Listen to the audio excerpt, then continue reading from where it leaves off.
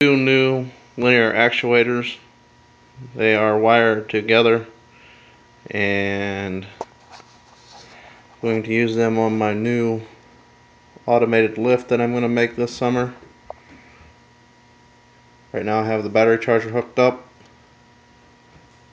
and I watch them go back.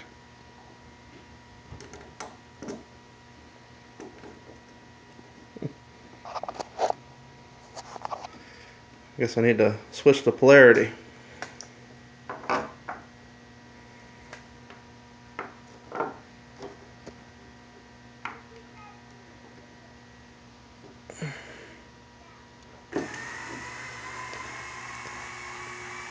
That's total eight, total of eight inches.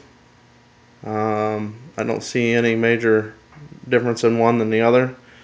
So that is pretty good because I'm going to want this little lift bucket I'm making to work evenly. And it's drawing just about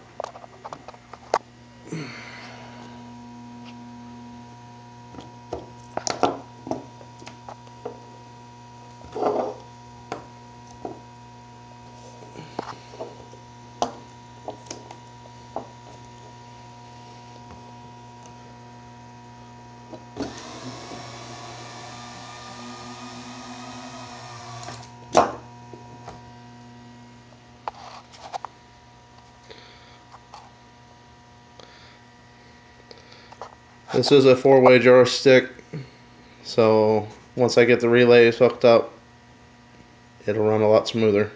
Won't have to do anything differently. This is all for demonstration purposes at the moment.